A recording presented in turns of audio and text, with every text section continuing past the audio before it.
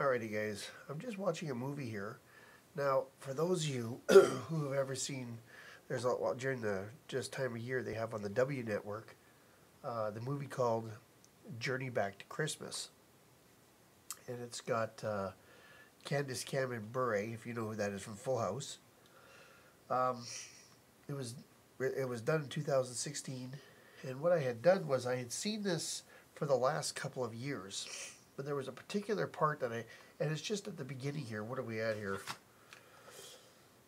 Well, well, 25 minutes in, there was a part where a bus had gone by, and I went, man, that looks familiar. The color looks familiar, like the colors.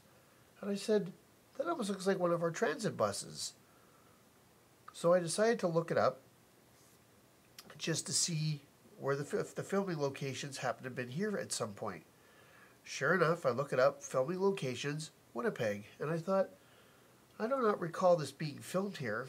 I mean, I don't. I'm guessing they used parts of downtown. Now, the thing is, they don't use the entire. The entire show is not done.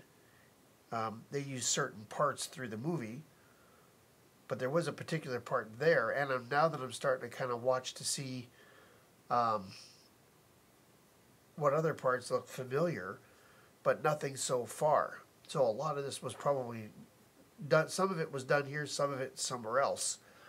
But the bulk of it was probably here. And then, of course, they probably used sets um, for uh, for most of it. but to get the snow and the cold, well, they didn't have to use a set for that. But anyway, I just thought it was kind of cool. So if you haven't seen the movie Journey Back to Christmas, check it out. It was filmed in Winnipeg. Really odd.